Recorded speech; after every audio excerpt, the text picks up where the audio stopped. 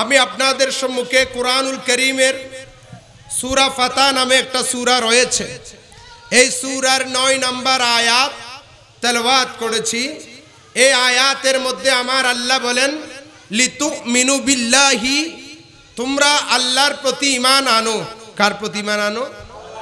বলেন না কার প্রতি? লিতু মিনু বিল্লাহি, তারপর বলেন, ওয়া রাসূলিহি। আমি আল্লাহর প্রতি ইমান আল্লাহ হবে না। আমার রসুলের প্রতি ইমান আনো। শুধু রসুলের প্রতি ইমান আল্লাহ হবে না, অনেকে তো সবাই বলে, লা ইলাহা ইল্লাল্লাহ মুহাম্মাদুর রসুল্লাহ সবাই বলে, কিন্তু আবার কথায় কথায় নবীর শাহ শাহানে বিয়াদবি করে ফেলে। সেই জন্য আমার আল্লাহ বলেন লিতু মিনুবিল্লাহি ওয়া রাসূলিহি। আল্লাহর প্রতি ঈমান আনো এবং রসুলের প্রতি ঈমান আনো। সঙ্গে সঙ্গে বলেন, ওয়া তুআজ্জিরুহু। আমার রসুলকে তোমরা তাজিম করো, সম্মান করো। তারপর কি বলেন, ওয়া তুওয়াক্কিরুহু। আমার রসুলের তোমরা শান, মান, ইজ্জত বয়ান করো, আমার নবীকে সাহায্যের মতো করে সাহায্য করো। তারপর ওয়াসিলা তারপর সকাল সন্ধ্যা আমি আল্লাহর তসবি আদায় করো। আল্লাহর তসবির আগে আমার নবীর তসবি আল্লাহ শিক্ষা দিলেন। নবীর তসবির আগে নবীর শান, মান, ইজ্জত শিক্ষা দিলেন। নবীর শান, মানের আগে নবীর প্রতি ইমান আনা শিক্ষা দিলেন।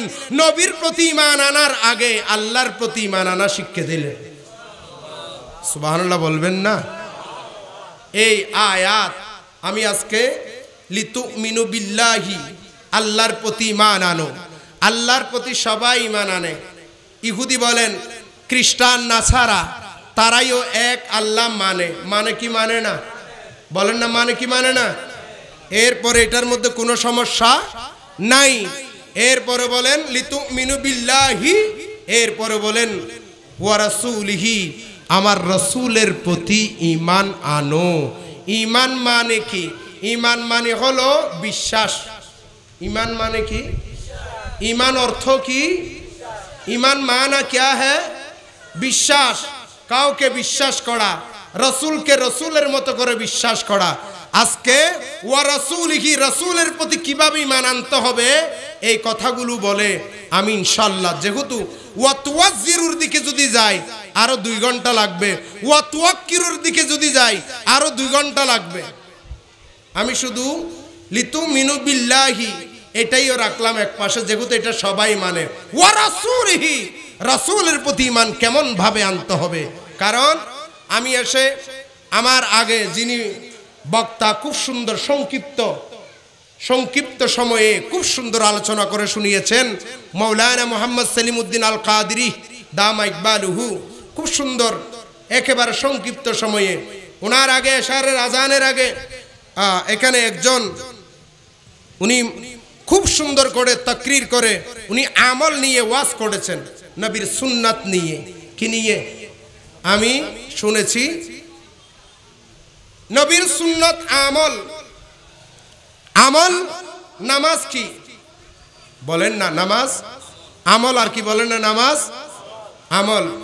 আপনি কিয়ামত পর্যন্ত যদি নামাজ পড়েন, আপনার নামাজ, আপনার এখানে যদি ইমান না থাকে, নামাজ হবে। রোজা হবে, হয়ে যাবে মনে হয়। একজন হিন্দু যদি কেয়ামত পর্যন্ত নামাজ পড়ে, তার নামাজ হবে। একজন বড়ুয়া যদি নামাজ পড়ে, নামাজ হবে। একজন চাকমা যদি নামাজ পড়ে, নামাজ হবে। কেন হবে না? বলেন না কেন হবে না? মা মান আল ইমান ইমান কি? মা হুয়াল ইমান, মা হিয়াল ইমান, মাল ইমান কি? যেভাবে জিজ্ঞেস করেন না কেন, ইমান কি, ইমান কাকে বলে? আপনি বোখারি শরীফের দ্বিতীয় নম্বর অধ্যায় খুলে দেখেন।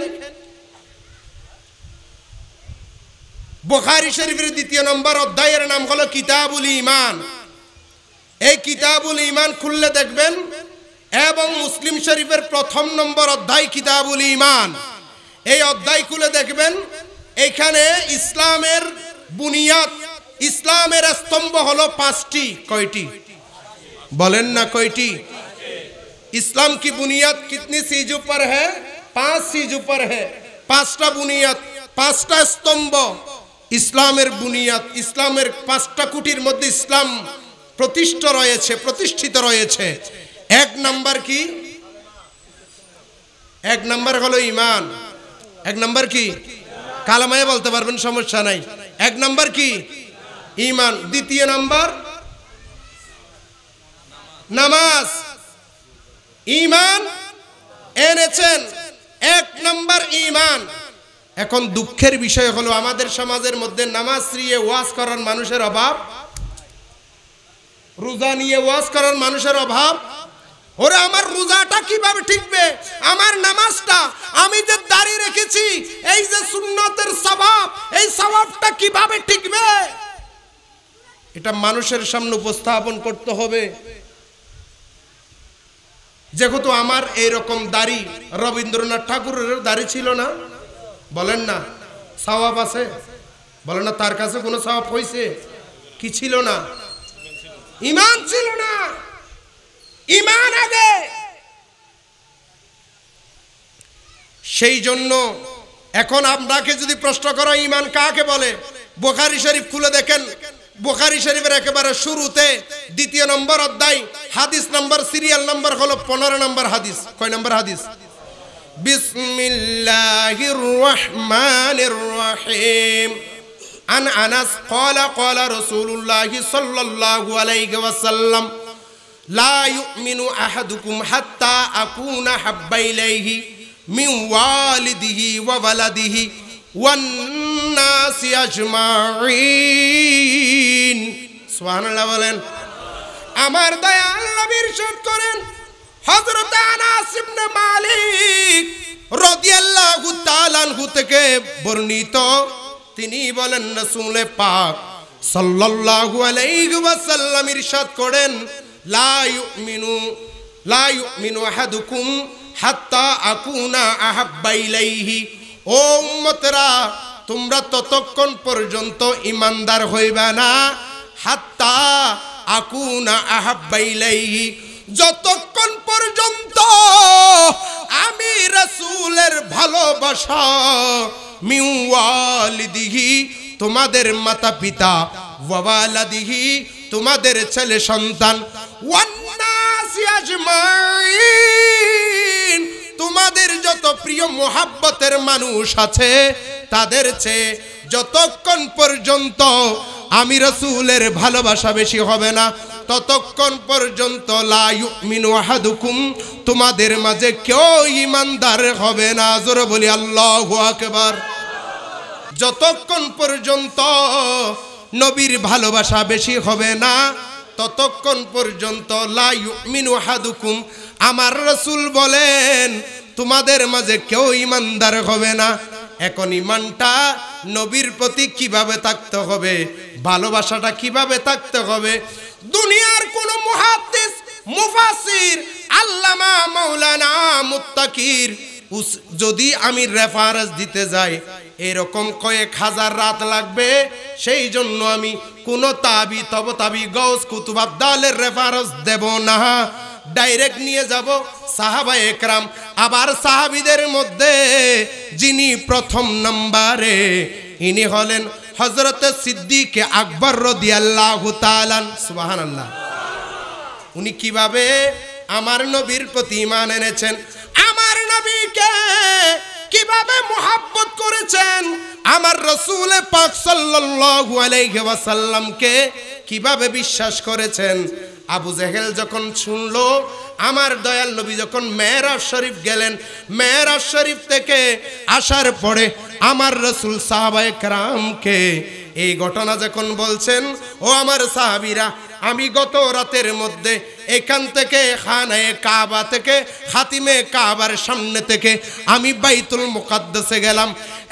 যাওয়ার পরে সমস্ত নবীদের ইমামতি করার পরে আমি ছিলাম ইমামুল মুরসালিন। আমি ইমামতি করার পরে আমি এরপরে বোরাক নিয়ে প্রথম আসমান, দ্বিতীয়, তৃতীয়, চতুর্থ, পঞ্চম, ষষ্ঠ, সপ্তম আসমান বেদ করে সিদ্রাতুল মুনতাহা বেদ করে আর সমুয়াল্লাহ আর সমুয়াল্লাহ গিয়ে আল্লাহর সাথে দিদার করে এসেছি। জুড়ে বলি সুবাহান আল্লাহ এটা আবু জেহেল যখন শুনলো, শোনার পরে চিন্তা করল, এতদিন আমি যারা মোহাম্মদকে ভালোবাসে, যারা মোহাম্মদের অনুসারী, তাদেরকে আমি এতদিন পথভ্রষ্ট করতে পারি নাই। কিন্তু আজকে আমি তাদেরকে পথভ্রষ্ট করব, তাদেরকে আমি মুহাম্মদ থেকে পিছু হটিয়ে আনব। এটা হলো এই যে যে কথাটি বলল, কেউ কোনোদিন বিশ্বাস করবে না। কারণ এখান থেকে বাইতুল মুকাদ্দাস যাইতে দুই, তিন দিন সময় লাগে, তাও একেবারে কি নিয়ে? দ্রুত সবার নিয়ে যাইতে অনেক কষ্ট হয়ে যায়। পথে পথে মানুষকে বুঝাইতে লাগল, শুনো শুনো, মুহাম্মদ নাকি এক রাতের ভিতরে এখান থেকে বাইতুল মুকাদ্দাস, এখান থেকে প্রথম আসমান, দ্বিতীয়, তৃতীয়, চতুর্থ, পঞ্চম, ষষ্ঠ, সপ্তম আসমান। বলে বলে, হেসে হেসে, তামাশা করে করে মানুষকে বুঝাইতে লাগল, পথে পথে মানুষরা হাসাহাসি করতে লাগল, কাফেররা বুঝাইতে বুঝাইতে এক সময় সিদ্দিক আকবর রদিয়াল্লাহু তাআলাহুকে পাইলেন। তখন হজরত আবু বকর রদিয়াল্লাহু সিদ্দিক আকবর উপাধি পাই নাই।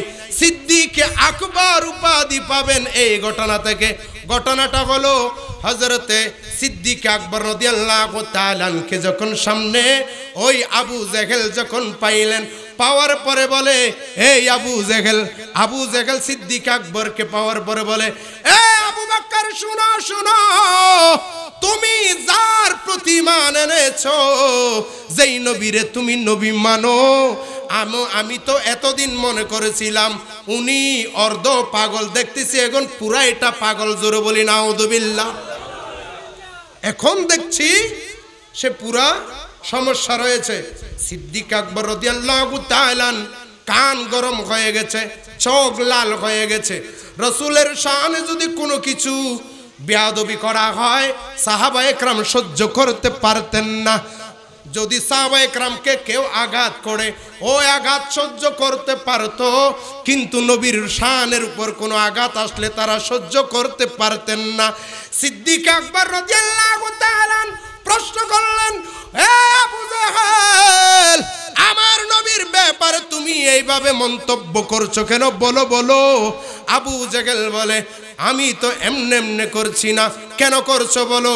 বলে, তোমার রাসুল নাকি এক রাতের ভিতরে এইখান থেকে বাইতুল মোকাদ্দাস, ওখান থেকে নাকি প্রথম আসমান, দ্বিতীয়, তৃতীয়, চতুর্থ, পঞ্চম, ষষ্ঠ, সপ্তম আসমান বেদ করে সিদ্ধাতুল মুন্তাহা বেদ করে, আর সমল্লাই গিয়ে লামকানে গিয়ে, আল্লাহর সাথে দিদার করে, আবার এক রাতের ভিতরে নাকি এখানে এসেছে। এটা কি তুমি বিশ্বাস করো? সঙ্গে সঙ্গে সিদ্দিক আকবর নদী আল্লাহ কিছুক্ষণ নীরবতা পালন করলেন সামান্য সময়, এরপরে প্রশ্ন করলেন তুমি যে এতক্ষণ পর্যন্ত আমার নবীর ব্যাপারে যা বলেছ এটা কি আমার দয়াল নবীর জবানে পাকের মধ্যে শুনেছো? আবু জাহেল বলে হ্যাঁ তোমার নবীর জবানে তো শুনেছি।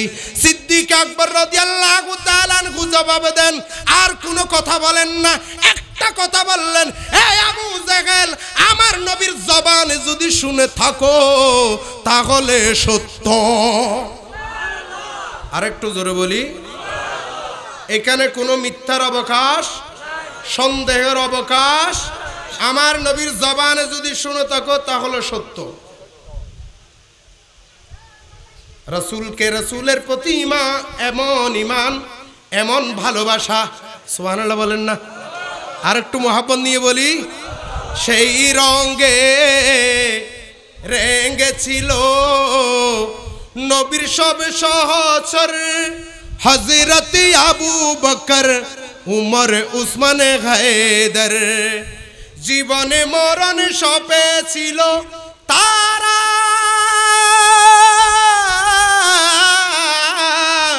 জীবনে মরণ সপে ছিল নবী রঙের গাঙ্গে।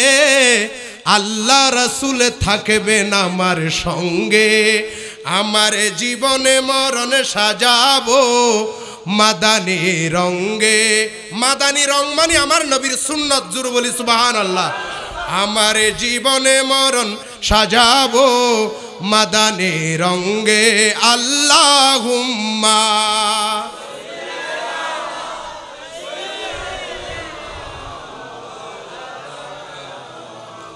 ওয়ালালে সৈয়দিনা হজরত ফখরুদ্দিন রাজি রহমতুল্লাহ আলাই উনার যে কোরআনুল করিমকে ব্যাখ্যা করেছেন, তফসির করেছেন। এই তফসিরের কিতাব সবাই মানে যারা মিলাদুন্নবী করে তারাইও মানে যারা মিলাদুন্নবী করে না তারাইও মানে। তফসিরে কবির, এই তফসিরে কবিরের সপ্তম খণ্ডের মধ্যে একটা তফসির এসেছে, সিদ্দিক আকবর রদিয়াল্লাহু কীভাবে নবীকে মোহাব্বত করেছেন। সুবহানাল্লাহ বলি। আর একটু জোরে বলি। রসুলের প্রতি ইমান কেমন, বিশ্বাস কেমন, ভালোবাসা কেমন? একদিন আমার দয়াল নবী একটা আংটি নিলেন। আংটি নেওয়ার পরে সিদ্দিক আকবর রদিয়াল্লাহ নুহুকে ডাকে দিলেন, ইয়া সিদ্দিক আকবর এই আংটিটা নিন, বানিয়ার তো দোকানে গিয়ে এখানে বড় করে আল্লাহু লিখে আনেন। আংটির মধ্যে কার নাম? আমার আল্লাহর নাম লিখে আনেন। সিদ্দিক আকবর আল্লাহ আংটি নিলেন, নিয়ে যাচ্ছেন বানিয়ার দোকানের দিকে। চিন্তা করে করে যাচ্ছেন। চিন্তা কি? উনি চিন্তা করলেন, যেখানে কোরআনুল করিমের মধ্যে, যেখানে আল্লাহর নাম আতিউল্লাহ ও আতিউর রাসুল, যেখানে আল্লাহকে এতায়াত করতে বলেছেন, রাসুলকে এতায়াত করতে বলেছেন, যেখানে আল্লাহকে মহাপত করতে বলেছেন। সেইখানে নবীর নাম আল্লাহ নিজে লাগাই দিয়েছেন। যেখানে আল্লাহকে ভালোবাসতে বলেছেন, নবীর ভালোবাসার নাম আল্লাহ লিখে দিয়েছেন। যেখানে আল্লাহর নাম, সেখানে নবীর নাম। যেখানে আল্লাহর নাম যেখানে সেখানে নবীর নাম। এখন আমার দয়াল নবী বলছেন এই আংটির মধ্যে শুধু আল্লাহর নাম লিখতে। এখন আমি কেমনে শুধু আল্লাহর নাম লিখব? এখানে আমার রসুলের নাম যদি না থাকে, আমার কেমন কেমন লাগে? এটা আসলে রসুলে পাক সাল্লাল্লাহু আলাইহি ওয়াসাল্লাম আদেশ করেছেন শুধু আল্লাহর নাম লিখতে। সেই জন্য আবার ভয় পাচ্ছেন। আমি যদি নবীর নামটা যদি লাগাই, মোহাব্বত বলছে নবীর নাম এখানে কি করতে? লিখতে। আবার অর্ডার বলছে আল্লাহর নাম লিখতে। এখন আমি মোহাব্বতকে একটু প্রাধান্য দিই দেখি। হয়তো আমার দয়াল নবী এই মোহাব্বত যদি কবল না করেন, আমাকে যা শাস্তি দেয়। আমি তা শাস্তি মাথা পেতে নেব। আমি কি করব? আল্লাহর নাম শুধু আল্লাহর নাম লিখব না, আমার দয়াল নবীর নামটাও লিখব। বানিয়াকে গিয়ে বললেন, এ বানিয়া লিখো, আল্লাহ নিচে লেখো মোহাম্মদ। আবার এটা দিয়ে বাতিল ফিরকারা দলিল দেয়। বলে লাইলা গাইল্লাল্লাহ মুহাম্মদ রাসূলুল্লাহ। দ্বিতীয় লাইনে লিখতে হবে, কারণ তফসিরে কবিরের মধ্যে সিদ্দিক আকবর মুহাম্মদ সাল্লাল্লাহু আলাইহি ওয়াসাল্লামের নাম নিচে লিখেছেন। আমি বলব, এখানে উজোর আছে। উজোর মানে কি? আংটির নিচে আংটিটা ছিল লম্বা। কি ছিল? লম্বা আকৃতির। আল্লাহ মুহাম্মদ আল্লাহ মুহাম্মদ একসাথে লিখলে নাম দুটোটা কি হয়ে যাবে? ছোট হয়ে যাবে, দেখা যাবে না। কিন্তু উপরে আল্লাহর নাম, নিচে নবীর নাম লিখলে এটা কি হয়ে যাবে? স্পষ্ট দেখা যাবে। বানিয়াকে লিখতে কষ্ট হবে না, কেউ খেয়াল করলে দেখতেও কষ্ট হবে না, সুবিধার জন্য। কিন্তু কোরআনুল করিমের কোথাও কি দেখেছেন যে এখানে আল্লাহর নাম, সাথে সাথে নবীর নাম দ্বিতীয় লাইনে লিখতে? বলেন না, আছে? আল্লাহ কি কোনোদিন দ্বিতীয় লাইনে নবীর নাম লিখছে? কিন্তু কতগুলি বর্তমান বের হয়েছে? বর্তমান যুব সমাজের মাথা খাচ্ছে সিদ্দিক আকবর রদিয়াল্লাহু তাআলা ওই বানিয়াকে বললেন, বানিয়া, এখানে লেখো, আল্লাহু নিচে লিখো মুহাম্মদ, সুন্দর করে লিখে মনের সুখে আনন্দে চুমা দিয়ে দিয়ে আমার নবীর দরবারে আসলেন। ইয়া রাসূলুল্লাহ আপনার আংটি নিন। আমার দয়াল নবী আংটিটা হাতে নিলেন। নেওয়ার পরে একবার আংটির দিকে তাকায়, একবার সিদ্দিক আকবর রদিয়াল্লাহু তাআলাহুর দিকে তাকায়, একবার আংটির দিকে তাকায়, একবার সিদ্দিক আকবর রদিয়াল্লাহু তাআলাহুর দিকে তাকায়। আমার দয়াল নবী প্রশ্ন করলেন, ও আবু বকর আপনাকে আমি বলেছি শুধু একটা নাম লিখতে। আপনি কেন এখানে এতগুলো নাম লিখলেন? তখন সিদ্দিক আকবর বয়ে চোখ দিয়ে টপ টপ করে পানি পড়ছে। অন্তরে ভয়, আবার নবীর মোহাব্বত। বলছি আর রাসূলুল্লাহ পুরা কুরআনুল করিমের মধ্যে যেখানে আল্লাহর নাম সেখানে নবীর নাম, আমি কেমনে বাদ দেব? সেই জন্য গো দয়াল আপনি যা শাস্তি দেন, আমি মাথা পেতে নেব।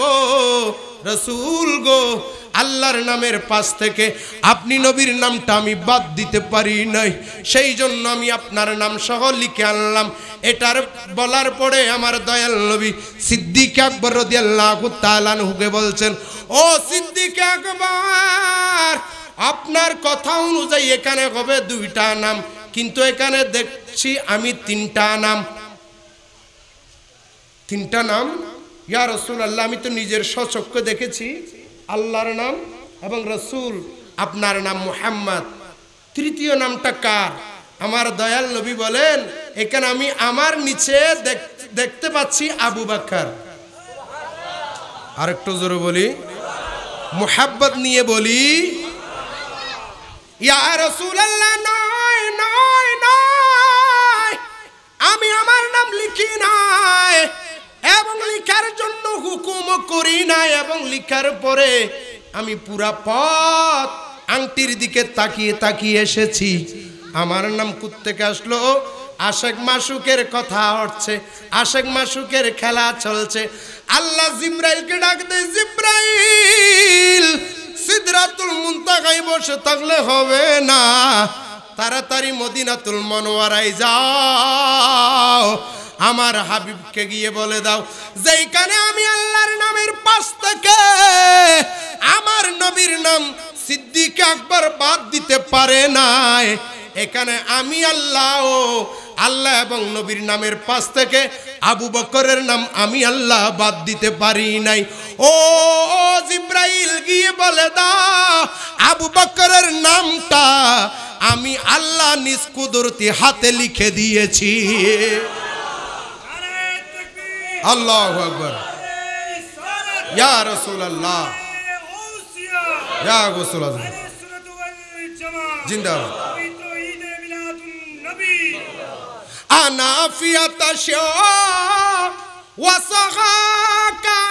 নারে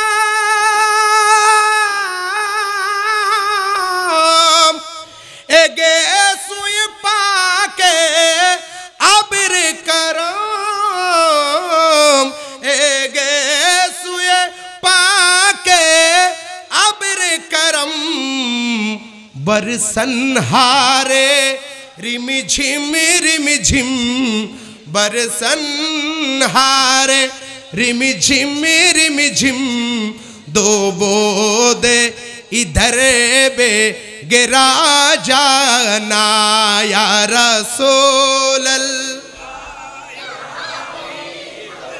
लाया या रसोलल या हबे बल्लाल में आती नजी फ़ी नज़र में तेले तो नशोदो पैदा जाना जगरा जो को ताज तो रे सारे सो, हे तुझको शागे दूसरा जाना अल बहरो अलावल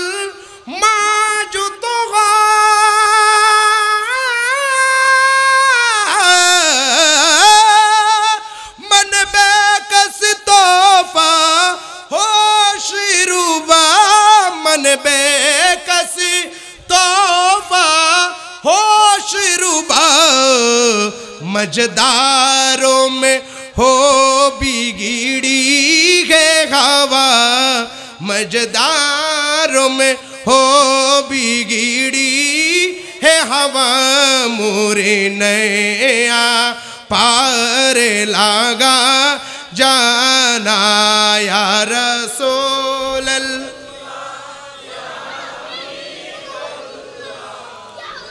सोल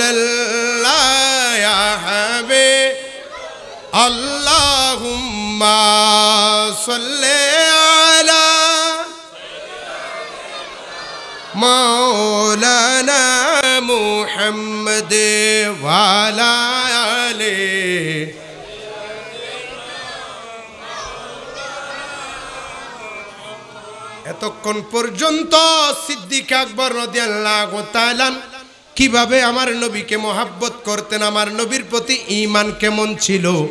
বিশ্বাস কেমন ছিল? এটা বলছি। সিদ্দিক আকবর রাদিয়াল্লাহু তাআলার পরে আমার নবীর নজরে এবং সমস্ত সাহাবায়ে ক্রামের নজরে, যিনি দ্বিতীয় নম্বর খলিফা, দ্বিতীয় নম্বর সাহাবী, উনার নাম কি? হজরতে ফারুক আজম উমর রদি আল্লাহ তালান জোরে বলি সুবাহান আল্লাহ আরেকটু জোরে বলি। মোহাব্বত নিয়ে বলি। আমার নবীর প্রতি ইমান কেমন? উমর রদি আল্লাহ তালান উনার আমার রসুলের প্রতি ইমান কেমন? কোরআনুল করিমের চার নম্বর সুরা সুরা নিসার পঁয়ষট্টি নম্বর আয়াতের শানে নুজুলের দিকে তাকালে আপনার শরীরের লোম দাঁড়িয়ে যাবে।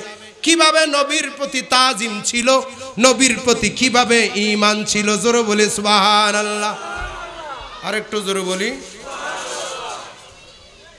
একটা জায়গা নিয়ে মুসলমান, একজন মুসলমান, মুনাফিক মুসলমান আর একজন ইহুদির মাঝে ঝগড়া শুরু হলো। ইহুদি বলে, আমার জায়গা আগে, পানি দেব আমি আগে। তোমার জায়গা পরে, তুমি পানি দিবে পরে। বিচার তো এটা আসতেছে। কিন্তু এই মুনাফিক মুসলমান মানে না। বলে, না এখন মুসলমানের রাজত্ব, সেই জন্য মুসলমান আগে দিবে, তুমি পরে দিবে। এরকম কোন ইসলামের মধ্যে নিয়ম আছে? বলেন না আছে? না। অধিকার অধিকার। এখন যখন দুইজনের মাঝে যখন ঝগড়া লেগে গেল, ওই মুনাফিক মুসলমান বলে, এই ইহুদি শোনো শোনো! সারা জীবন ঝগড়া করলে হবে না। চলো চলো, আমাদের নবীর কাছে যাই। আমাদের নবী যা ফাইসালা দেয়, তা মেনে নেব। ইহুদি বলে, ঠিক আছে, কারণ ইহুদি হলেও ইহুদির বিশ্বাস, আমার নবীর মতো মানবতাওয়ালা পৃথিবীর মধ্যে আর কেউ ইনসাফওয়ালা আর কেউ নেই। ইহুদি বলল, ঠিক আছে, চলো চলো। ওই মুনাফিক মুসলমান ইহুদিকে নিয়ে গেলে গেলেন কোথায় আমার দয়াল নবীর দরবারে? ইয়া রাসূলুল্লাহ, আমার জায়গা আগে, উনার জায়গা পরে। কিন্তু আপনার এই মুসলমান বলছে, সেই নাকি আগে, তার জায়গার মধ্যে দিবে। তখন আমার দয়াল নবী বললেন, তোমরা দুইজনের বক্তব্য আমাকে শোনাও, কি সমস্যা কি? দুইজন, দুইজনের বক্তব্য শোনালেন শোনানোর পরে আমার দয়াল নবী বিচার দিলেন, রায় দিলেন, বিচার করে রায় দিলেন। যার জায়গা আগে, সে আগে পানি পানি সেচ দিবে। তার জমির মধ্যে সেচ দিবে। পরে যার জায়গা, মুসলমান হোক, তার জায়গাতে পরে দিবে। এখন সেই ছিল মোনাফিক, রসুলের প্রতি বিশ্বাস তার ছিল না ইমান ছিল। এমন উপরে কি? মুসলমান। রসুলের প্রতি সঠিক বিশ্বাস তার ছিল না। যার কারণে সে বলে নবী যে বিচার করেছেন, বিচারটা আমি মানি না। নাউজুবিল্লাহ বলেন, আমি বিচারটা মানি না। চলো চলো চলো। আমরা উমর ফারুকের কাছে যাই, উমরের কাছে যাই। ইহুদি বলে, ঠিক আছে, চলো তাহলে তুমি তো আনছো। তোমার নবীর কাছে তুমি এনেছো, আবার তুমি মানছো না। এখন কোথায় যাব? বলে, উমরের কাছে যাও। উমরের কাছে যায় উমরের কাছে গেলেন। ইহুদির মনের মধ্যে জানা আছে, রাসূল যাই বলেছেন, উমর রদিয়াল্লাহু তাআলাহু তাই বলবেন। সুবহানাল্লাহ বলি। রসুলের বিরুদ্ধে যাবে না এটা বিশ্বাস ইহুদের আছে, কিন্তু মুসলমানের নিফাক থাকার কারণে, মুনাফিক হওয়ার কারণে। বলে, চলো চলো চলো। দুইজন গেলেন। উমর রাদিয়াল্লাহু তাআলা আনহুর সামনে দুইজনের কথাগুলো উপস্থাপন করলেন। উমর রাদিয়াল্লাহু তাআলা আনহু তাদেরকে বললেন, যতদিন পর্যন্ত আমার দয়াল নবী দুনিয়ার মধ্যে রয়েছেন, আমার রাহমাতুল্লিল আলামিন নবী দুনিয়ার মধ্যে যতদিন দুনিয়া থেকে পর্দা করেন নাই, ততদিন পর্যন্ত আমি উমর বিচার করার কে?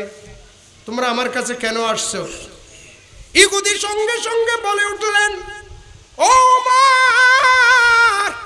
আপনার নবীর কাছে গিয়েছিলাম। এই মুসলমান আপনার নবীর কাছে প্রথমে আমাকে নিয়ে গিয়েছেন। তখন উমর রদিয়াল্লাহু তাআলাহু বলেন, আমার রসুল বিচার করেন নাই? হ্যাঁ বিচার করে দিয়েছেন। রায় দিয়েছেন আমার পক্ষে। আপনার এই মুসলমান মানতে পারে নাই। এটা শোনার সাথে সাথে উমর রদিয়াল্লাহু তাআলান উনার রাগ চলে এসেছে। উনার চোখ লাল হয়ে গেছে।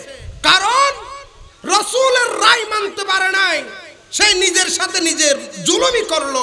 কারণ আমার রসুলের মতো পৃথিবীর মধ্যে ইনসাফওয়ালা আর কেউ নাই। উমর রাদিয়াল্লাহু তাআলা ডাক দিলেন, এই মুসলমান, আমার কাছে বিচার চাওয়ার জন্য, আমার কাছে রায় শোনার জন্য, আমার রায় শোনার জন্য এসেছ? আচ্ছা বলো, আমি যা রায় দিই, তুমি কি তা মানতে পারবে? মুনাফিক মুসলমান বলে হ্যাঁ আপনারটা মানব। আপনারটা মানব। তাহলে দাঁড়াও। উমর রদিয়াল্লাহ ঘরের ভিতরে গেলেন। তরবারি নিলেন।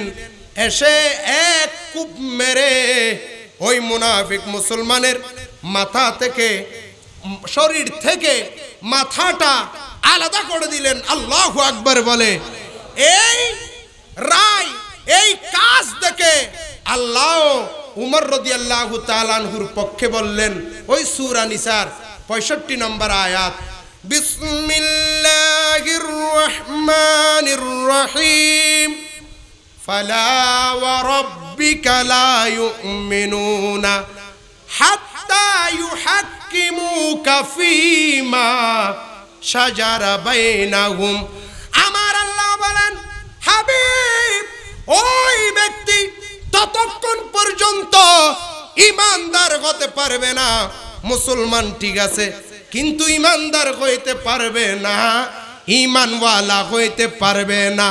যতক্ষণ পর্যন্ত আপনি নবীকে বিচারক হিসাবে মানবে না, আল্লাহ আকবার।